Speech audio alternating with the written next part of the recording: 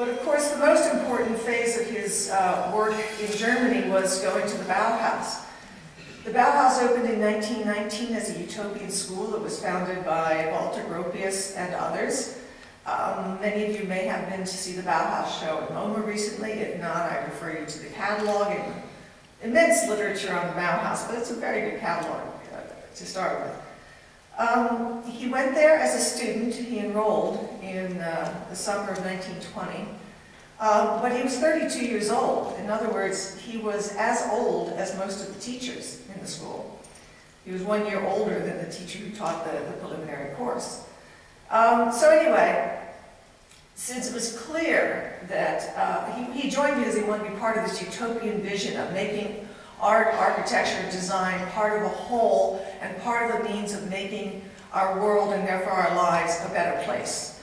Um, since he had already considerable skill, he was asked to uh, assist in the teaching of some courses, and then he was asked to take over the and run the glass workshop. The Bauhaus was set up on the principle that everybody had to take the preliminary course, in German called Vorkurs. But the preliminary course was mandatory, and that was what focused on the basics. It was started by one of the visionaries, founders, uh, Johannes Itten, uh, a painter with uh, wonderfully uh, Eastern ideas. He made the students do yoga exercises in class and things like that. Um, when Itten left in 1923, two things, two teachers came in and changed that course dramatically. Laszlo Moholy-Nagy, a Hungarian constructivist, uh, really quite a vanguard innovator in, in avant-garde, in abstract uh, geometric art and in ideas about applying art to life. He came, and Josef Albers was promoted to master. They didn't call them professors, they called them masters. So Albers and Moholy-Nagy shared the teaching of the preliminary course from 1923 until the school closed in 1933, so for a decade. And Albers, in this way, he had absorbed Itten's theories of color, uh, which had a fair amount to do with theosophy and spiritualist ideas, which fit in with Vasily Kandinsky, who was one of the main teaching masters at the Bauhaus, uh, and Paul Klee, the other main teaching master.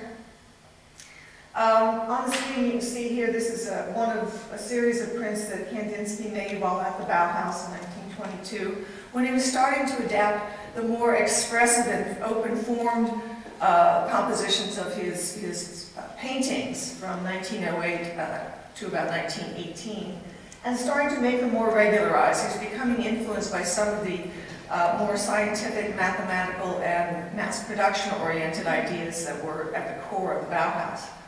Over on the right is a Paul Klee of a similar period, just to show you the kind of thing they were doing. Um, what we have in our collection, uh, which is extremely rare, are some of the works that Albers made while he was the master of the glass Bauhaus, uh, glass workshop at the Bauhaus. Many of these did not survive because you couldn't fit all of them into a couple of steamer trunks. So what we have are about a fourth of all the ones he sold. The Metropolitan, for example, has two. MoMA, for example, has one. We have four. Plus we have the studies for other glass works, some of which survive as glass, some of which do not. The one on the upper left is called Window Picture, and this was made during the period uh, after World War I when Germany went into extreme rece uh, recession and extreme hyperinflation. You know, where it took a million Deutschmark to buy a loaf of bread that's, I mean, that was, that brought down the entire middle class and essentially brought down the country and its government. Well, during that period, um, the philosophy at the Bauhaus was you can make art from anything and anything can be made into art. So Albers did his bit of that by going to the Weimar city dump and finding things that he could use to make his quote-unquote stained glass windows. He had prior experience with the reparation and, making of stained glass. What he was trying to do was upgrade it for the modern industrial and mass production era. Well, this is not mass production, surely. It's very, very handmade. You see where he's tied the elements together with thin little copper wires. But what he did is he went and found as many colored glass things as he could, especially bottles and jars, broke them up into pieces that he could use, especially the bottoms, which are thicker and can uh, create different refraction of light. And that's basically what you have here, bottle bottom, bottle bottom, so forth, all the circular ones. Um, he also took metal sheets and little scraps of metal and punched holes in them with different shapes. So you can see that they're kind of triangular, go up a bit. See there's a red X in that one. There's green squares in that one. There's a yellow zigzag in that one. The idea was is he's creating all these patterns. However, the only way you can appreciate these patterns and the luminosity of the colored glass is if they are illuminated. And indeed, that's how these would be seen. He called them window pictures because that was precisely it. He stood them or suspended them in front of windows so the daylight shone through them. Um, we showed this once like that 2005, I think, in the fall. We are now going to show three of ours backlit, along with four from the Albers Foundation, which they very kindly lent us. So we will have a row of seven backlit windows from the Bauhaus period, progressing from these found object ones to the more um, controlled and uh, abstract and better materials.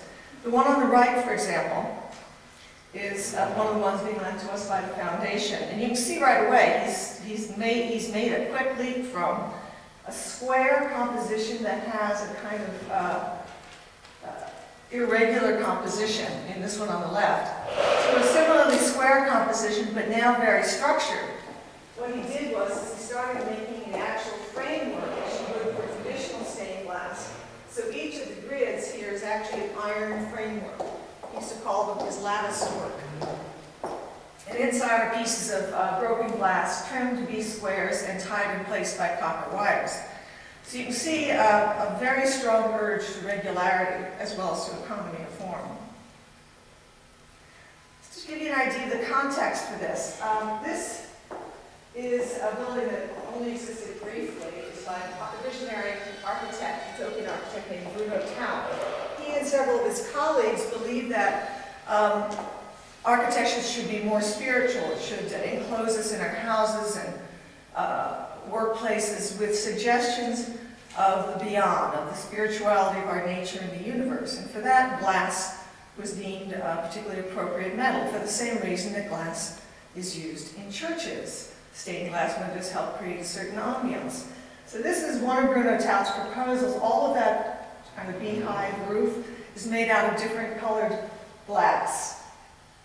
Um, Albers was not so drawn to that spiritual aspect, but it was right at this moment between about 1914 and 1922 that this use of glass as colored glass as a spiritual medium in the practical arts uh, was very widespread in Germany. On the upper right is the largest commission for a stained glass window that Josef Albers ever made. This is a black and white photograph of the windows. You can see that they're vertical panels juxtaposed. Uh, that he made for a house designed by Gropius just outside Berlin in 1920-21. The house was destroyed later, so we don't have any color images of these. But you can see that he's, uh, you know, 1921, he's making our window picture for broken bottles from the dump and making that grid picture. And what he's doing here is bringing together some of the irregularity uh, and dynamism of the one with the structure and regularity of the other. And you can see how he sort of paces out things like here you've got a form on a diagonal, grid up above, a grid there, a grid there, a grid there, a grid there. In other words, he anchors each of the vertical panels with a strong, uh, regular grid, and that, that seems to have allowed him to uh, be a little more irregular and asymmetrical in the rest of the composition.